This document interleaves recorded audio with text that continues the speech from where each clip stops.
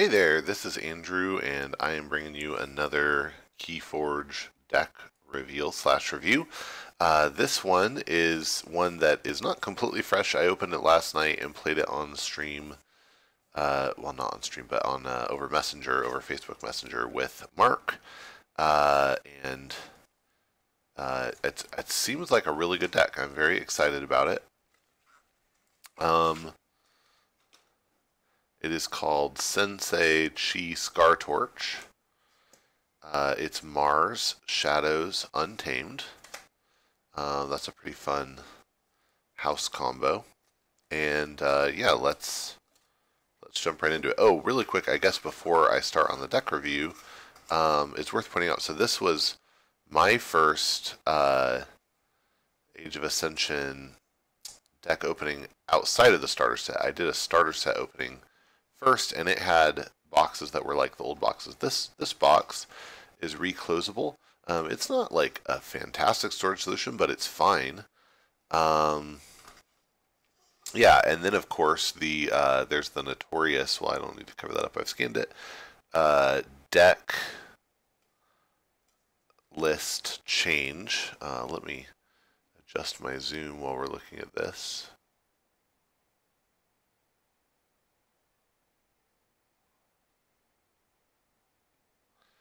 And um, the interesting change from the way it used to be is that now you can see uh, commons and then uncommons and then rare, whereas it used to be that you would see uh, you would just see cards organized by type. So you would see actions and then artifacts and then creatures and then upgrades. So this one only has actually two rares, but um, they're pretty good. I'm I'm pretty happy to see them. Um, so yeah, let's let's get started. So we'll start with Mars. Uh, we have Collector Worm, two power, five armor, and uh, when it fights, it archives the creature it fights. If that creature leaves your archives, put it in its owner's hand instead. Now I think that well, so I know for a fact that because fight happens, the fight effect is actually after fight. That's the default uh, timing of these keywords. Um, because it's after fight, that means that if the creature's or if collector worm is destroyed in the fight, its ability doesn't trigger. But I also think that means that if uh, if the creature is fighting dies, so if you fight like something with one or two power, it, that thing dies. Um, it doesn't go to the archives because it's destroyed first. So it's really only useful for things that are you know at least bigger than two. Um, this is also uh, why in another deck I had this, and I, I was playing him, I didn't put Blood of Titans on my Collector Worm because uh, that would actually make it less likely to to archive things. It would be more likely to kill them, but not archive them. Uh, okay, Glixel Proliferator. This one's fun. Three power. Uh, you reap with it, and when you reap, um, if it's on a flank, then you archive a Mars card from your discard pile. Uh, and that's a pretty powerful effect. Ixixli Fix Finger. This thing is 2 power and 2 armor. It's elusive, and it gives all your other Martian creatures plus 1 armor. That was pretty good if we have a lot of Mars creatures, which uh, so far so good. Uh, Mind Warper is 2 power with elusive, and when uh, and you can exhaust it to make an enemy creature capture one from its own side. That's uh, returning from Call the Archons. Everything so, else so far is new. Uh, you have Mind Warper.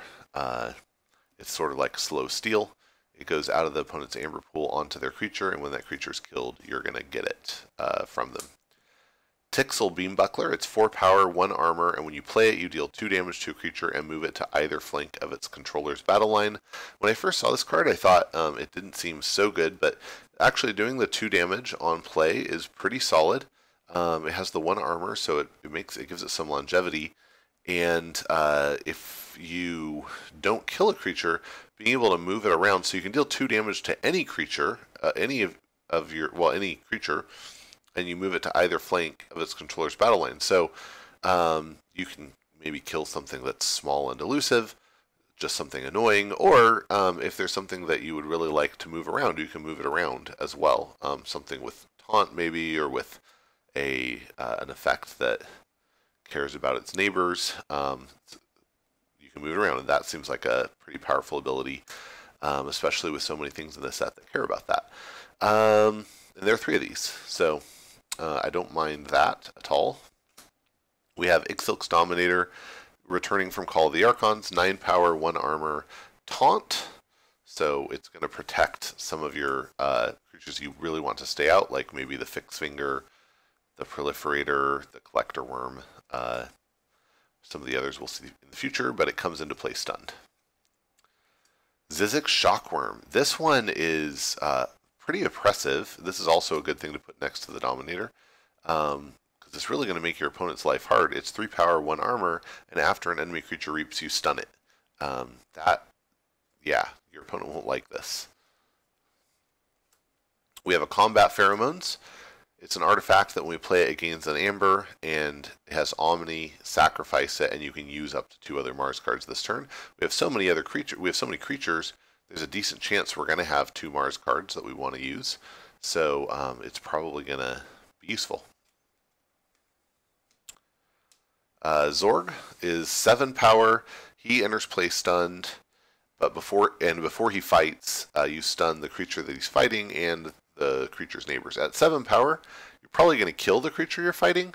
So, uh, so there's that. But um, but you get to stun the neighbors, and if it is something that's going to live through it, you're going to stun it. And because this is a before fight effect, it'll take place even if you're fighting something that'll kill Zorg. So that's pretty powerful. That's why it enters play stun to make up for that. And then we have Hypnotic Command. Um, that's pretty crazy. So uh, Hypnotic Command is an action, it's a rare, and when you play it, for each friendly Mars creature, you choose an enemy creature to capture one amber from their own side. Um, and uh, there are 10 Mars creatures in this deck. So, you know, the ceiling on this is basically that you do that same slow steal. It works the same as Mind Warper does. Um, and, you know, the ceiling is that we get to do that 10, for 10 um, effectively slow steel 10 amber. Uh, and my understanding of the way this resolves is that, um, you know, if you, let's say I have five friendly Mars creatures, I'm going to five times choose an enemy creature to capture one from their own side. It doesn't say different enemy creature, so I could put them all on the same creature if I wanted, um, and then kill it and get all that amber. So it's it's a pretty strong card, especially with so many Mars creatures. And it doesn't even say friendly ready Mars creature. Uh, so that's pretty good. And also, I just want to point out in this Mars set, we have uh, one, two, three, four, five uh, returning cards from Call of the Archons, but the other seven are new ones, and that's uh, pretty typical, I think. Um, at, yeah. Um, it's fun seeing all the new cards. Okay. Uh, into Shadows, we have Furtive Investors. It's an action, gain an Amber, and if your opponent has more amber than you, gain one for each key your opponent has forged. So it's sort of like uh, a Dr. Escotera, but instead of having a four power creature, you get an extra amber. Uh, but only if your opponent has more amber than you. Knuckles Bolton, three power, elusive, and skirmish. Lamindra is a one power with deploy, so you can put her uh, in the middle of your battle line if you want and uh, she has elusive, and she also gives her neighbors elusive. Um, yeah, we've already seen some things we might want to put that on, so that's pretty cool. And you know, this actually works a little bit like it's a similar effect to having a creature with taunt, um, but it's doing it with elusive, so it's a little you know more shadowsy.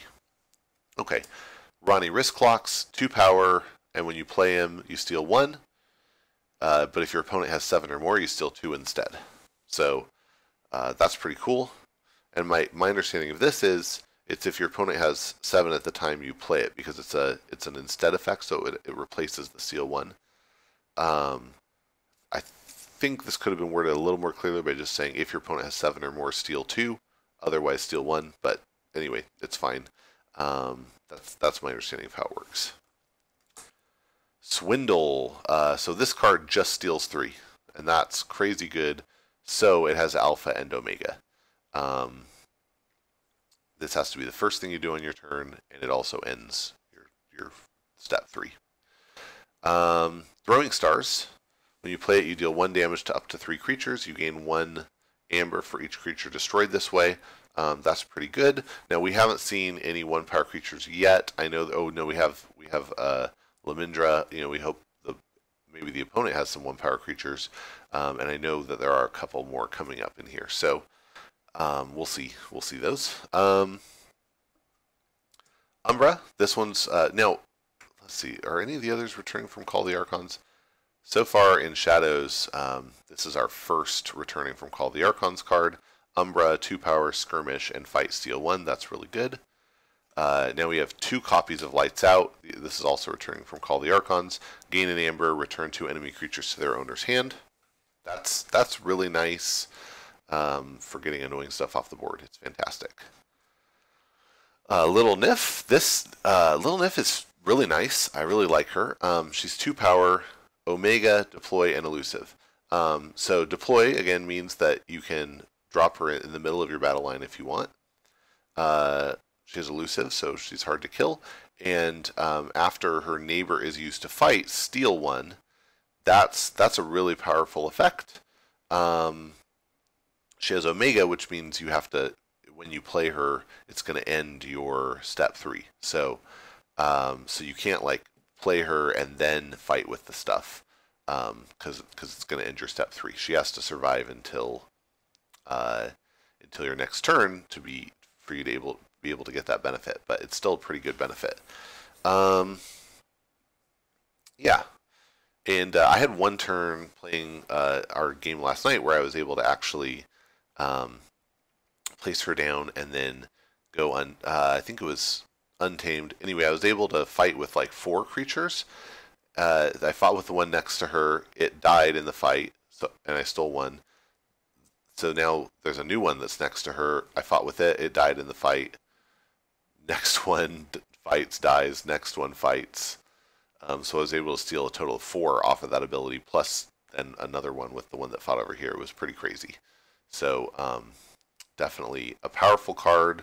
That obviously makes her a good target for your opponent to kill uh, with priority. Um, cool. Redlock uh, is three power. He has skirmish, and at the end of your turn, if you do not play any creatures this turn, gain an amber. Um, in a deck with 25 creatures, that seems unlikely to fire very often. But if he is on the board when you play Swindle, then then that turns your turn into you know steal three, gain one. Um, that's really the only situation where I envision this happening. But uh, three power skirmish, that's not bad.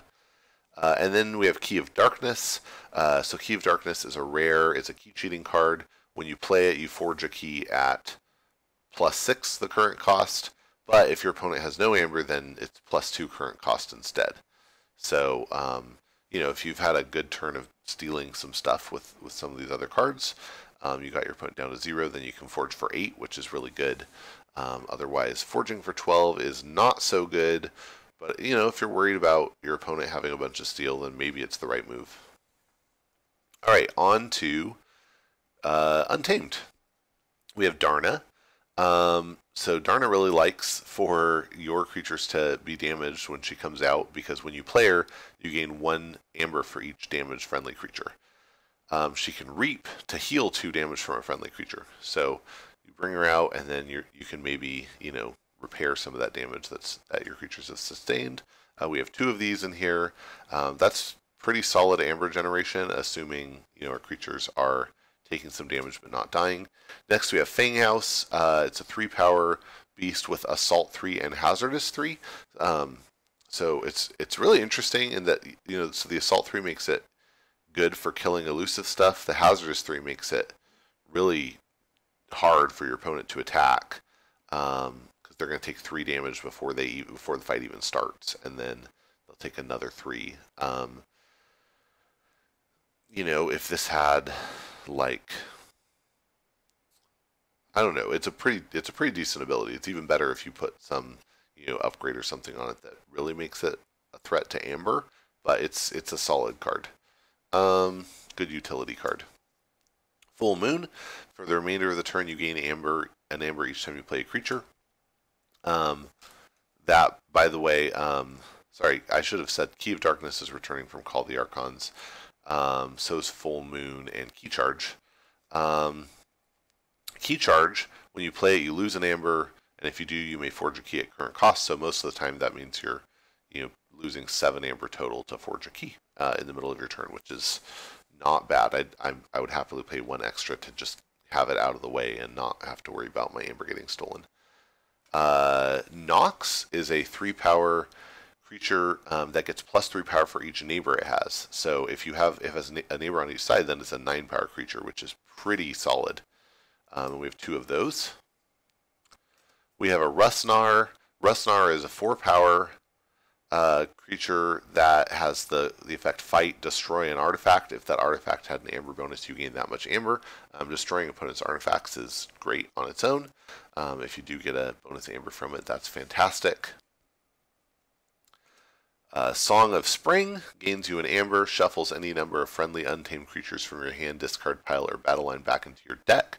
Uh, we only have one of these in here, but it's uh, it, it worked out pretty well. I was able to return the uh, Dharnas and the next couple cards that you'll see, um, or to the last two anyway, uh, into my deck and get more value out of them, which was pretty fantastic. Um, and yeah, it's a it's a solid card. Um, yeah, I, I really like it, especially with so many creatures. It's just good. Uh, we have Tantadlin, which is nine power, uh, but it only deals two when fighting. And but when it uh, when it, it, when you use it to fight, it discards a random card from your opponent's archives. So that's nice if you're up against you know maybe a Mars that is archiving your own stuff, or you know a Logos that's just archiving their stuff. Um, probably it's high value stuff that's going in their archives, and so knocking it out is uh, probably a pretty useful effect. Um, yeah, and then at the end we have two copies of Bumblebird, which is a one power creature with alpha, so you have to play it first thing on your turn, but when you play it, you put two plus one power counters on each other friendly untamed creature. And so that game last night, I had like four plus one power counters on some of my creatures. Um, and, you know, and I think this is a really good uh, target. The, the Bumblebirds and the Dharnas are good targets for Song of Spring, even if they're on your board they're still probably worth shuffling in because they have these nice play effects. So um, anyway, so yeah, this this deck did really well. It had good amber generation, a lot of steel, uh, if things are played out right. Decent board control. Um, the lights out and shadows gives good board control. The big creatures in Untamed, obviously. Uh, and then in Mars too, I had pretty good board control. Um, stun if they reap, um, some taunt. So uh, you know, some amber control, amber generation, uh, board control, even some artifact control. So this feels like a pretty well-rounded deck. Um, and with 25 creatures, it has the possibility of getting just getting a really solid foothold. Of course, you know, your opponent can just blast everything in one turn, but uh, yeah, has a really good chance to get to get a, a strong footing and uh, be able to push in for a win. So that's that. Um, that was uh, Sensei. Uh, yeah, Sensei Chi Scar Torch. Um, I'm excited to get this to a chainbound event and start seeing how it performs, uh, like, you know, in a competitive setting. Um, yeah, thanks for joining me and keep on forging.